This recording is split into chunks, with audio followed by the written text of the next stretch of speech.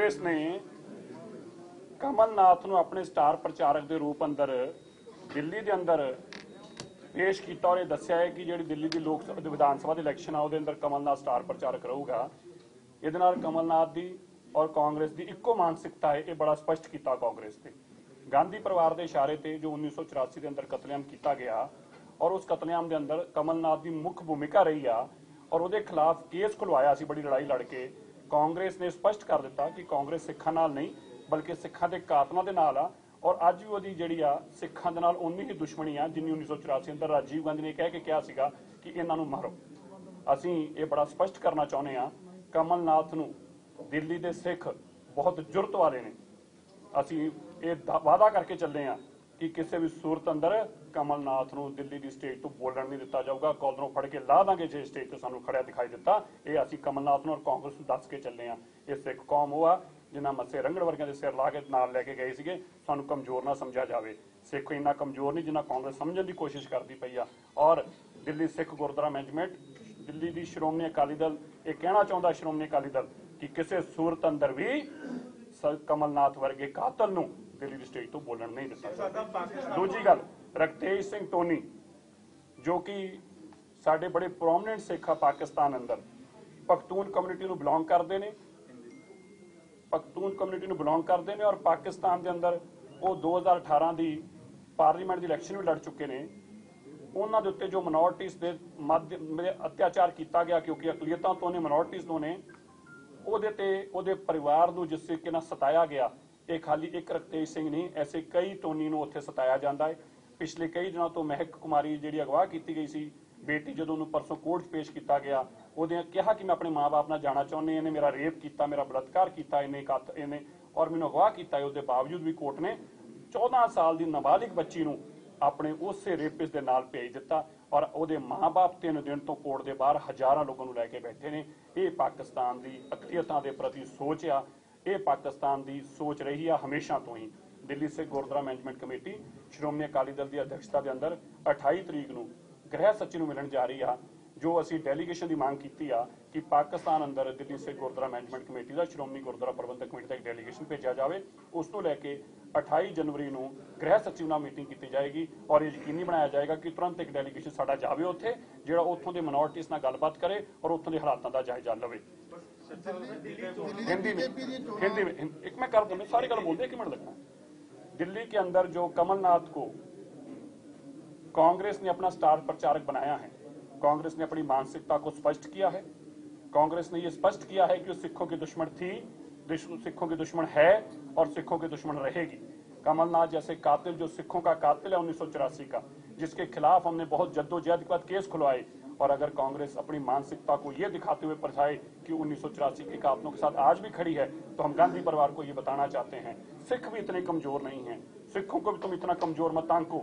हम तुम्हें ये दावा देकर कहते हैं तुम्हें चैलेंज कर कर कहते हैं, हिम्मत है तो कमलनाथ को दिल्ली की किसी स्टेज पर खड़ा करके दिखाओ। हम भी तुमसे ये वादा करते हैं, अगर तुम उसको दिल्ली की स्टेज पर लेके आओगे तो हम भी उसको कॉलर से खींचकर स्टेज से नीचे लेके आएँगे। हम सिख वो हैं जिन्होंने मत से रंगड़ जैसों के सिर उतारने में वक्त नहीं लगाया हमसे कोई जाति कर नहीं सकता और जाति बर्दाश्त हम करते नहीं हैं। लेकिन कांग्रेस को ये बात आगाह करना चाहते हैं कमलनाथ की ज़रूरत नहीं है कि दिल्ली के हमारे सिखों के कातलों के इलाकों में सिखों के उसी इलाके में आके घुसकर और स्टेज पर खड़ा होकर वोट मांग जाए। किसी सूरत में सिख बर्दाश्त नहीं करेंगे ना किया है ना करेंगे। रितेश सिंह रितेश सिंह जो हमारे रितेश सिंह टोनी जो हमारे सिखों के बहुत प्रोमिनेंट लीडर हैं पश्तून कम्युनिटी को बिलोंग करते हैं और 2018 में भी वो इलेक्शन भी लड़े। इससे पहले भी उनके साथ बहुत जातियाँ की गई। हमने उनकी आवाज़ पहले भी लड़ाई लड़ी, लेकिन अब इंतहा इस हद तक हो गई कि रतेश सिंह को अपने परिवार के साथ लेकर वो मुल्क छोड़ना पड़ा। पिछले तीन दिन से रतेश सिंह एक अननोन डिस्क्लोज लोकेशन पर छिपे हुए हैं और वो बार बार एक दुहाई दे रहे हैं कि पाकिस्तान ने जिस तरह का जुल्म उनके ऊपर और उनके परिवार के ऊपर ढाया है, वो अकेले ही इस तशद के खाली उन्हीं पे नहीं हुई, बल्कि अनेकों मिनोरिटीज के ऊपर, परिवारों के ऊपर की जा रही है खास तौर पर सिंध में और पंजाब में।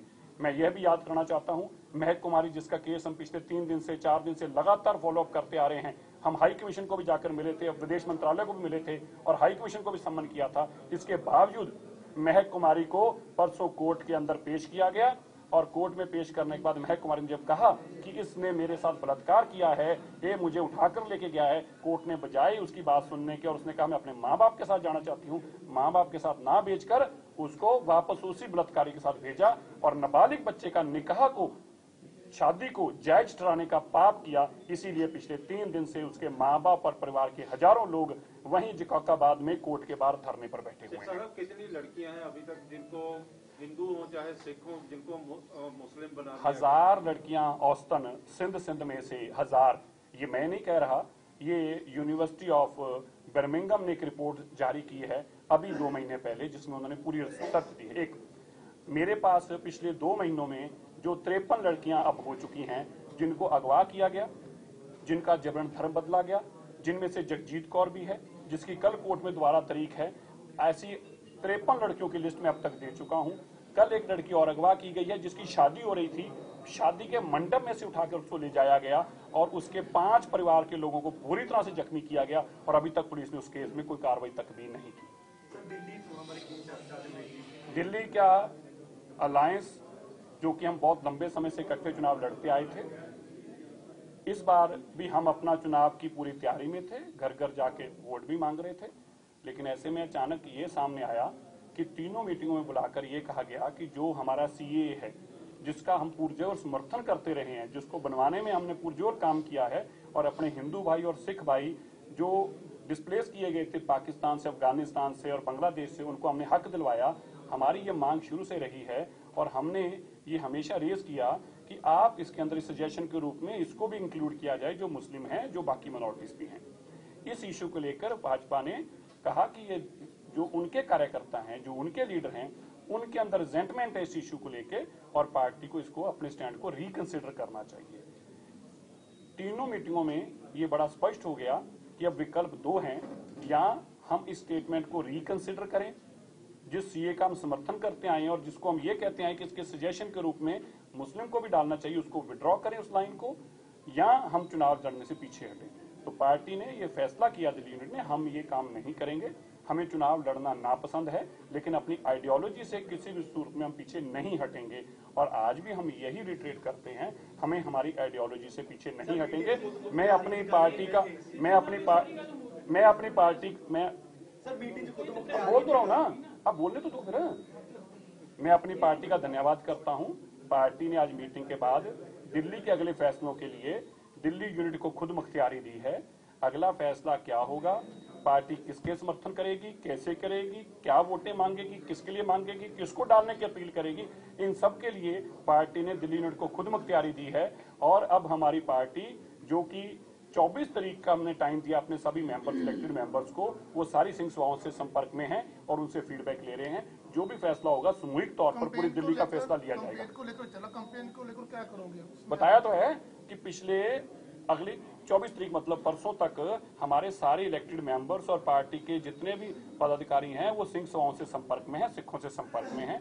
सबसे यूनाइटेड एक जो राय की जाएगी और वो राय पूरी दिल्ली की राय होगी, ना कि किसी इंडिविजुअल की। और फिर फैसला किया जाएगा कि किसके साथ किया जाए, कैसे कंपेन की जाए, किसके लिए की जाए या वोट मांगी जाए, किसके लिए मांगी जाए। आम आदमी पार्टी का ऑप्शन खुला देखिए, हमारा किसी के लिए बंद नहीं है, ना किसी के लिए खुला। हम ये नहीं कह सकते क्योंकि ये हाइपोथिकल सिचुएशन होगी कि जी आम आदमी पार्टी, कांग्रेस। देखो, जो भी पार्टीज़ हैं, हमारा राय केवल और केवल अपने सिखों पर निर्भर करती है। मेरी इंडिविजुअल राय नहीं है, मेरी इंडिविजुअल राय कुछ और हो सकती है, लेकिन मैं अपने सब सिखों की राय लेने के बाद ही कोई फैसला लेंगे। उससे पहले कोई भी ना हाँ है, ना ना है, किसी के लिए ऐसा कोई भी राय नहीं है। बलविंदर सिंह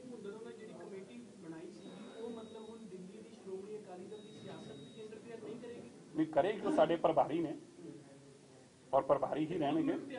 ਖੁਦ ਮੁਖਤਿਆਰੀ ਇਸ ਫੈਸਲੇ ਨੂੰ ਲੈਣ ਦੀ ਖੁਦ ਮੁਖਤਿਆਰੀ ਦਿੱਲੀ ਦੇ ਯੂਨਿਟ ਨੂੰ ਦਿੱਤੀ ਗਈ ਆ ਪਾਰਟੀ ਵੱਲੋਂ। ਮਤਲਬ ਪਾਰਟੀ ਦਾ ਸਮਰਥਨ ਕਰਨਾ ਕਿ ਤਾਂ ਨਹੀਂ ਕਰਨਾ ਕਰਨਾ ਵੋਟਾਂ ਕਿਹਨੂੰ ਪਾਉਣੀਆਂ ਨੇ ਨਹੀਂ ਪਾਉਣੀਆਂ ਕੀ ਕਰਨਾ ਉਮੀਦਵਾਰ ਸਿੰਗਲ ਉਮੀਦਵਾਰ ਵਾਈਜ਼ ਪਾਉਣੀਆਂ ਨੇ ਪਾਰਟੀ ਵਾਈਜ਼ ਪਾਉਣੀਆਂ ਨੇ ਬੰਦਿਆਂ ਨੂੰ ਪਾਉਣੀਆਂ ਨੇ ਆਈਡੀਓਲੋਜੀ ਨੂੰ ਪਾਉਣੀਆਂ ਨੇ ਸਾਰੀਆਂ ਗੱਲਾਂ ਸਾਡੇ ਛੱਡੀਆਂ ਔਰ ਸਾਡੀ ਲੀਡਰਸ਼ਿਪ ਵੀ ਡਿਸਕਸ ਕਰਕੇ ਸਾਰਿਆਂ ਨੂੰ ਯੂਨੈਨਿਮਸ ਫੈਸਲਾ ਲਊਗੀ is it okay thank you